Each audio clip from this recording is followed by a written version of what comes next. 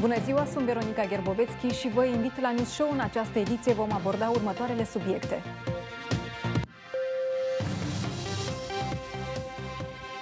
Igor Dodon, aflat după gratii de ieri, se declară curat ca lacrima prin intermediul avocatului său. Acesta a publicat un mesaj pe pagina de Facebook în care susține că dosarul în care figurează este unul politic și cusut cu ață galbenă. Politicianul a dat vina pe guvernarea Pascar, sta în spatele acțiunilor procurorilor în stilul regimului Plahotniuc pentru a distrage atenția de la scumpiri și de la înrăutățirea situației în țară. Consumatorii ar putea să achite mai mult pentru un metru cub de gaze. Din 1 iunie, Moldova Gaz cere Agenției Naționale pentru Reglementare în Energetică să accepte o majorare de circa 8 lei față de cât plătim în prezent. Fără TVA, tariful ar urma să depășească 22 de lei. Cum explică Vadim Cevan, vă spunem în câteva clipe. Teroare la o școală din statul american Texas. 19 elevi și 2 adulți au murit după ce un bărbat în armată a tras în direcția lor și atacatorul a fost omorât într-o confruntare cu poliția. Cum s-a desfășurat totul, vă spunem în scurt timp. Rămâneți alături de noi.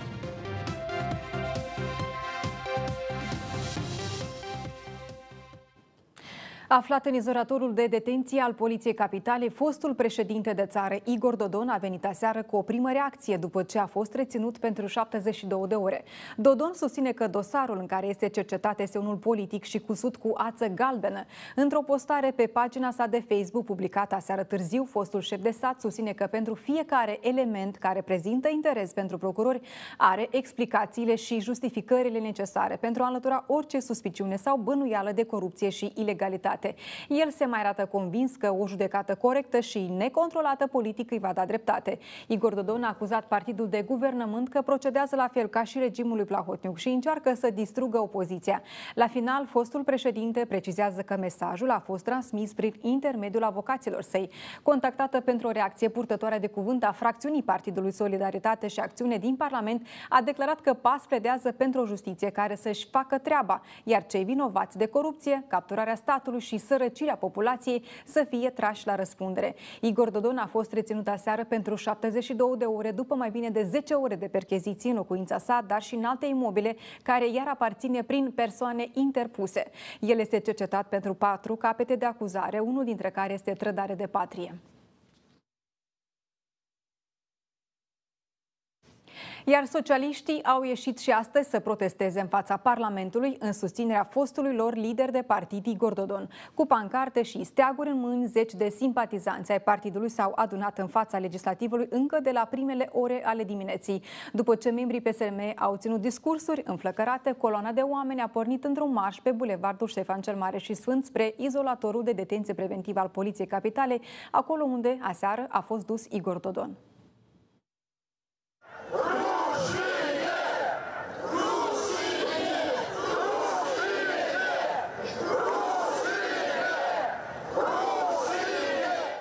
Хорошую жизнь Во получить, не такую. пресс-служба, Акула. Да. Во пресс-служба. Вон, вон, вон. Э, хорошую жизнь. Что вот для вас значит хорошая жизнь? Чтобы пенсии были хорошие, чтобы продукты не дорожали. У нас продукты как дорожают, а пенсия все так. Сейчас куда идут? Și eu singur personal pot face fake-uri. Și încă mai, mai profesionale decât s-au făcut acolo. Da, Fake-uri vă referiți la valută falsă sau ce? Fake-uri mă refer la poza ce unde Dodon cu un pachet... uh, A, la video cu... Da, da, asta este un, doar un fake. Da, dar la el acasă s-au găsit bani, mii de euro, chitanțe. Au fost puse dinainte ca să fie provocat Dodon. Знаете, за что Игоря Додона арестовали? Ну, они сфаб- сфабриковали, наверное, все это, и потому что говорят за четыре пункта, которые... Ну, и Ну, они нашли у него дома и деньги, и квитанции. Что думаете об этом? не знаю. Dar s-o cot protest ar fi, și ar fi. De când e lumea, Dar credeți că o să ajute? O să schimbe ceva? Nu schimb nimic. Care n-ar intra, știți cum spune, așa era o, un proverb moldovenesc, păcal și tandală. Și păi păcal, și dacă avei punga mie de bani, ce ai faci cu și ca și bogat ca și tine. Fix acest sistem. Dar nu mai faci nimic nici o regulă, nimic. Totuși, de ce ați venit? Ne uităm, mă, mergem pe aici, să vedem ce se face în țara asta.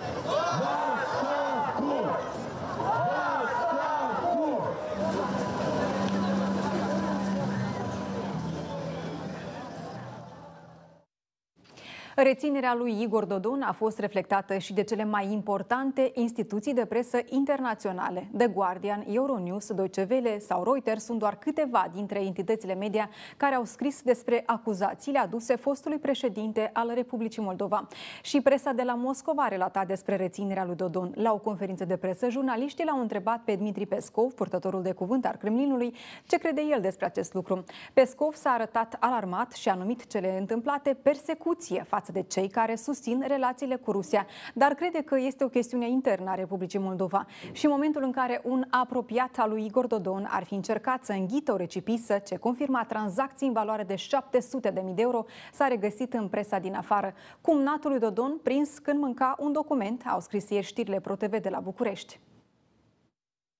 Una din persoane a încercat să distrugă probele prin înghițire în scrisurile depistate la domiciliu care confirmă tranzacțiile cu bunuri imobile în valoare ce depășesc suma de 700.000 de euro.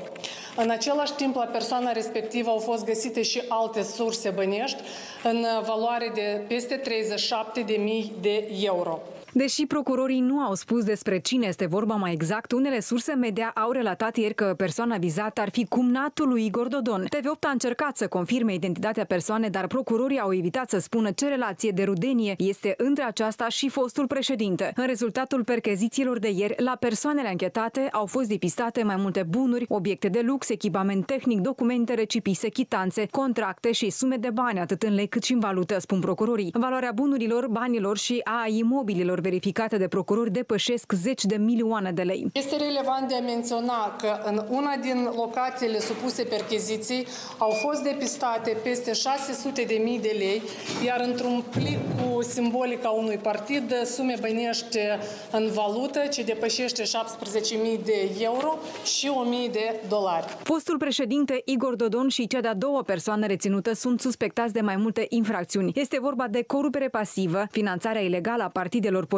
îmbogățire ilicită și trădare de patrie. Faptele verificate încep cu anul 2014 și până în prezent. Sunt investigate și imaginile video publicate anterior pe rețelele de socializare, fiind vorba de acele înregistrări în care Igor Dodon urma să primească o pungă neagră de la Vladimir Plahotniuc. În acea înregistrare, Dodon se aude spunând că ar primi bani de la Federația Rusă pentru activitatea Partidului Socialiștilor în jur de 800.000 de dolari pe lună. Atunci, fostul șef de stat a declarat că discuția, dar și imaginile au fost trucate, însă mai apoi a oferit o altă versiune, că voia să-l provoace pe Plahotniuc. La conferința de presă, susținută ieri de procurori, s-a mai spus că datorită perchezițiilor efectuate s-a constatat că doar de la începutul acestui an persoanele supuse cercetărilor au beneficiat de servicii de odihnă, contracte prin intermediul firmelor turistice din Federația Rusă în valoare de circa 4 milioane de ruble rusești, ceea ce constituie circa 1.300.000 de lei. Igor Dodon și apropiatul său au fost reținuți pentru 72 de ore pentru care exista riscuri de distrugere a probelor, au justificat reținerea procurorii. Perchezițiile de ieri din casa lui Igor Dodon se desfășoară la trei ani distanță de la renumita scenă în care fostul lider al democraților, Vladimir Plahotniuc, i-a transmis o pungă neagră cu calendar fostului șef de stat. Procurorii au descins la domiciliul acestuia după ce Curtea de Apel a dat undă verde pentru ca dosarul să poată fi reluat. Deși cazul a devenit foarte cunoscut, Igor Dodon a declarat cu mai multe ocazii că totul ar fi o înscenare și de fiecare dată a evitat să spună ce era în punga respectivă. Așa că misterul rămâne încă neelucidat.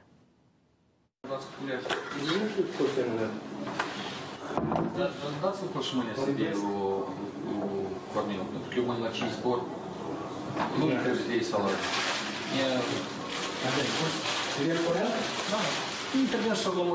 E... Da, internet și-a lămurit. Aceasta este una dintre scenele pentru care Igor Dodon a ajuns să fie cercetat penal. Imaginele ar fi fost filmate în 2019 în perioada evenimentelor din iunie, care s-au încheiat cu cedarea puterii de către democrați și fuga din țara fostului lider PD Vladimir Plahotniuc. Imaginele în care Dodon, pe atunci șef de stat, primește o pungă neagră cu calendar de la Plahotniuc la o întâlnire la care asista și Sergei Yaralov, au fost publicate un an mai târziu de către fostul deputat de la platforma Da, Iurie Reniță. Atunci Reniță a declarat că în sacoșă ar fi fost bani și a cerut Procuraturii Generale să investigheze cazul. Ulterior, Procuratura Anticorupție a venit cu o reacție și l-a îndemnat pe Reniță să facă un denunț oficial cu privire la probele pe care le-ar deține. Mai mult, acuzatorii spuneau atunci că nu se pot autosesiza doar în baza imaginilor și puneau la îndoială veridicitatea lor. Deși fostul parlamentar Iurie Reniță a depus un denunț, adjunctul Procuraturii Anticorupție din acea perioadă, Vasile Levitski, a emis o ordonanță de neîncepere a urmăririi penale, document care a fost contestat în instanța de judecată. În tot acest timp, presa l-a întrebat de mai multe ori pe fostul președinte Igor Dodon ce era în acea pungă, dar acesta a evitat să spună, precizând că totul a fost un scenarie. În noiembrie 2020, invitat în cadrul unei emisiuni TV8, Igor Dodon a declarat că nu știa ce era în celebra pungă. Nu, я же не брал.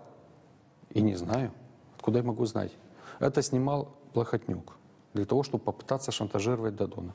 Не получилось. Дадон скинул Плохотнюка. În schimb, procurorul general de atunci, Alexandru Stoianoglu, în prezent suspendat din funcție, se arată convins că în pungă erau bani. Într-un interviu oferit în septembrie anul trecut, Stoianoglu spunea că procurorii nu pot proba acest lucru, iar dosarul a trebuit să se bazeze pe mărturiile participanților la acel episod. Я убежден, что там были деньги. Но одно дело, что я думаю, и другое дело, какая у нас доказательная база. Это две разные вещи. Мы, можем, мы э, не можем предъявлять обвинения, исходя из моих умозаключений. Мы должны предъявлять обвинения людям, исходя из э, доказательств, которые у нас есть по делу. А у нас с этим очень серьезные проблемы. Astăzi, fostul coleg de partid al lui Igor Dodon, Corneliu Furculiță, cel căruia se presupune că ar fi fost destinată celebra pungă cu calendar, a evitat să spună ce era în interiorul sacoșei. Vrem să vă întrebăm dacă cunoașteți ce a fost în acel culioc pentru care este cercetat Igor Dodon.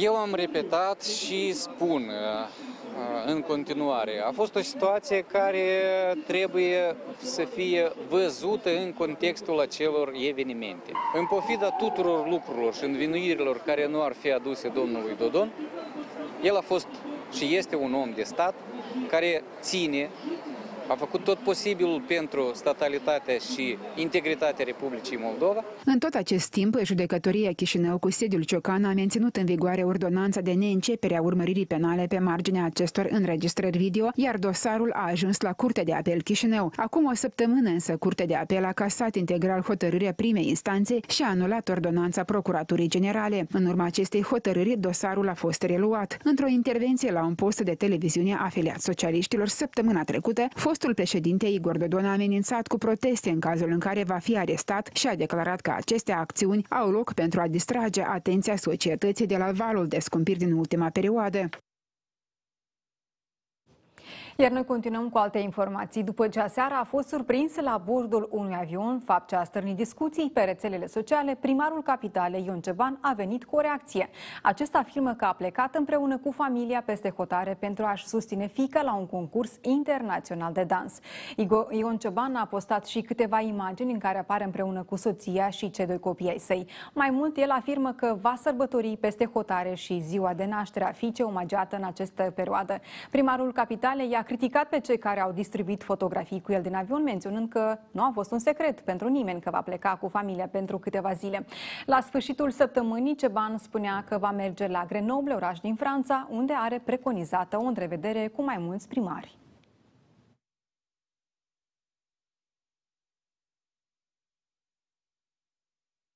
Tariful la gazele naturale ar putea depăși 22 de lei pentru un metru cub fără TVA. Moldova Gaz a cerut Agenției Naționale pentru Reglementare în Energetică să ajusteze costurile de furnizare a gazelor pentru consumatorii finali, conform prețurilor reglementate pentru anul curent. Potrivit reprezentanților companiei, principalul factor care a cauzat necesitatea revizuirii tarifelor este creșterea semnificativă a prețurilor de achiziție. Cererea principalului furnizor de gaze a fost expediată către ANRE acum două zile. Conform calculelor prezentate, tariful la gazele naturale furnizate la punctele de ieșire din rețelele de distribuție de presiune joasă se propune a fi majorat de la 14 lei și 6 bani până la 22 de lei și 22 de bani fără TVA pentru un metru cub de gaze sau cu 58% mai mult decât până în prezent. Cu taxa pentru valoare adăugată, prețul achitat de consumatorii casnici ar putea fi de peste 24 de lei. Principalul furnizor propune ca tarifele ajustate să intre în vigoare începând cu data de 1 iunie. Moldova Gaz justifică cererea prin faptul că prețurile de import s-au majorat semnificativ, motiv pentru care au loc devieri tarifare esențiale. Această decizie este în strictă conformitate cu legislația. Ea va permite să fie acoperit integral prețul de achiziție și astfel se va asigura executarea condițiilor contractuale de plată față de furnizorul de gaze naturale. Se arată în cererea companiei Moldova Gaz către ANRE. Acum două săptămâni, în cadrul unei emisiuni la un post de televiziune, șeful de la Moldova Gaz declara că tariful ar trebui majorat vara și micșorat la începutul sezonului de încălzire. Мы предлагаем вариант э, таким образом это сделать, чтобы именно э, нагрузка на потребителя не была существенной. Это можно сделать, если мы будем применять двойной тариф в течение года. То есть по нашему предложению. То есть это должен быть весенний летний тариф, он должен быть чуть выше, но при этом мы знаем, что потребление меньше, нет большой нагрузки для потребителей. Допустим, если сегодня 15.49 по э, сегодня же рыночной цене, то мы должны уже сейчас иметь для конечных потребителей цену 21 лей. 21 лей, но потребление меньше. В октябре, 1 октября, когда начинается отопительный сезон, непосредственно четвертый квартал, где у нас цены э, по формуле и по контракту, э, там нефтяная составляющая намного выше, соответственно, цена закупки будет меньше, вернуться к цене, допустим, 15 лев, 15-16 лев. То есть это примерно тот же тариф, который сейчас есть. Prețul de achiziție al gazelor naturale pentru luna mai este mai mic în comparație cu cel din luna aprilie. Mai exact, Republica Moldova achită 919 dolari pentru 1000 de metri cubi de gaze naturale. În prezent, cetățenii Republicii Moldova achită un tarif de 15 lei și 18 bani cu TVA inclus pentru un metru cub de gaze. Decizia a fost luată la sfârșitul lunii ianuarie, iar tariful a fost aplicat retroactiv începând cu 1 ianuarie. Republica Moldova va beneficia de asistență macrofinanciară oferită de Uniunea Europeană. Comisia Politică Externă și Integrare Europeană a vizat în ședința de astăzi inițierea negocierilor și aprobarea semnării unui memorandum în acest sens. Documentul prevede acordarea unei asistențe financiare în valoare de 150 de milioane de euro. O parte din această sumă va fi oferită sub formă de grant, iar cealaltă sub formă de împrumut. Banii vor fi direcționați pentru reforme cheie ce vizează domenii precum sectorul energetic, lupta împotriva împotriva corupției, statul de drept și climatul de afaceri. Asistența financiară va fi disponibilă timp de 2 ani și jumătate. În luna aprilie curent, Parlamentul European și Consiliul Uniunii Europene au adoptat o decizie care prevede acordarea de asistență macrofinanciară suplimentară Republicii Moldova în contextul consecințelor provocate de invazia Federației Ruse în Ucraina, precum și gestionarea crizei gazelor și redresarea economică după pandemie de COVID-19.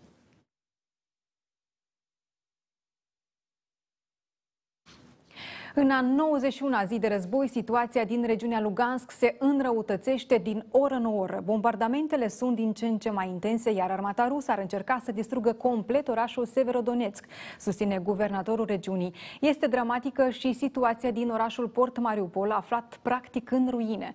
Un consilier al primarului anunță un bilanț tragic. Peste 22.000 de civili au fost uciși în cele trei luni de război. El a mai declarat că 200 de cadavre în stare avansată de descompunere expunere au fost găsite sub ruinele unei clădiri în timp ce era înlăturat molozul. Mariupol este acum un oraș al fantomelor, a declarat Petro Andrișcenco, consilier al primarului din Mariupol. Acesta a reușit să fugă din zonă, dar are informații de la oficialii care încă mai sunt blocați acolo, scrie CNN, citat de Digi24. Potrivit acestuia, unele estimări arată că 22.000 de civili au fost uciși, dar e posibil ca numărul să fie și mai mare. Doar într-un singur loc, sub ruinele unei clădiri bombardate, au fost găsite 200 de cadavre în stare de putrefacție avansată. Cei pe care care rudele vor să îngroape potrivit credințe religioase trebuie să susțină într-o înregistrare video că decedații au fost victime ale armatei ucrainene. Mariupol a fost ținta unor atacuri constante timp de aproape trei luni. Ultimii luptători ucraineni care apărau orașul de la Azovstal s-au predat vineri, iar orașul a ajuns oficial în mâinile rușilor.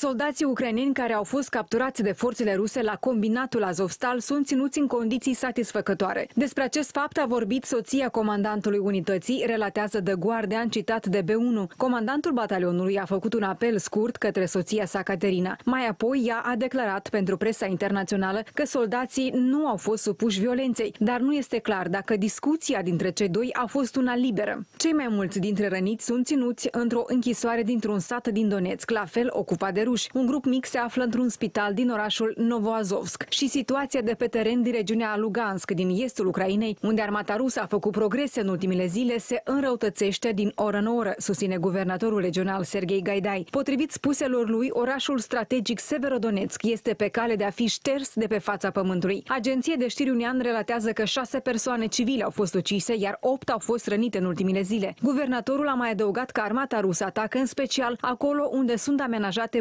buncăre pentru populația civilă. Și președintele Vladimir Zelenski a vorbit despre situația extrem de dificilă din Donbass. Toată puterea pe care o mai are armata rusă a fost aruncată în luptă acolo, susține liderul de la Kiev, iar purtătorul de cuvânt al Ministerului Ucrainean al Apărării consideră că bătăliile care se duc în estul Ucrainei ar putea decide soarta țării.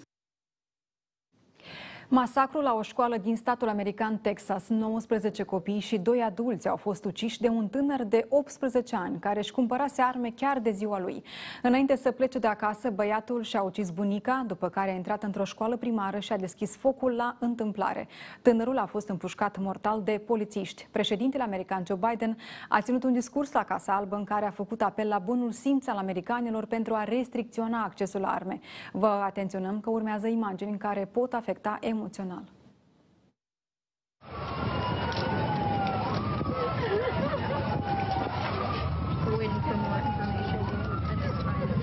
Adolescentul în vârstă de 18 ani și-a ucis bunica după care a intrat într-o școală primară din Texas înarmat cu două puști și a deschis focul asupra copiilor. A mers din clasă în clasă și i-a ucis cu sânge rece pe micuții din clasa a doua, a treia și a patra. Un agent al poliției de frontiere care lucra în apropiere a auzit împușcăturile. Bărbatul a intrat în școală fără să aștepte întăriri și l-a împușcat pe atacator. Agentul a fost și el rănit în timpul schimbului de focuri. Totul s-a întâmplat într-un orășel de aproximativ 16.000 de oameni, aflat la circa 120 de kilometri de granița cu Mexic. heart was broken today.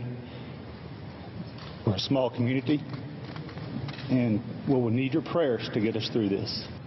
În urma atacului, președintele american Joe Biden a ținut un discurs în care a propus schimbarea legii privind accesul la arme. We're going to stand up to the gun lobby. When in God's name we do what we all know in our gut needs to be done. Why? Why are we willing to live with this carnage? Why do we keep letting this happen? Where in God's name is our backbone? Masacrul este cel mai grav atac la o școală din Statele Unite de la cel de la Sandy Hook de acum aproape un deceniu, când un bărbat înarmat a ucis 20 de copii și 6 adulți. Cele mai recente date arată că din 2020 împușcarea a devenit principala cauză de deces în rândul copiilor și adolescenților din Statele Unite. Doamnelor și domnilor, acestea au fost informațiile despre care am reușit să vă spunem până la această oră. Vă îndemn să rămâneți alături de TV8. Următoarea ediție de știri începe la ora 14 și 45 de minute.